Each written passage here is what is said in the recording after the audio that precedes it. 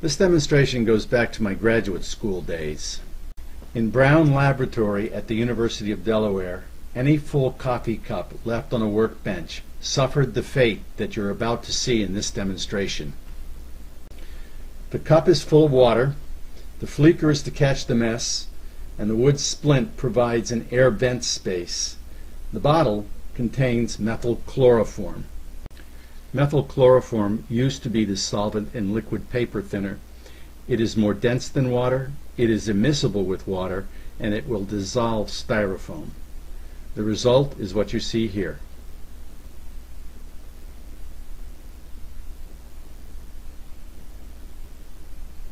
We'll leave the presentation of this demonstration to your imagination.